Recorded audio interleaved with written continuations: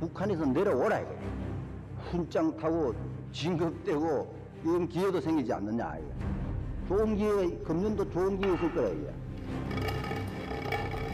사요. 모든 게 애매합니다만은 그게.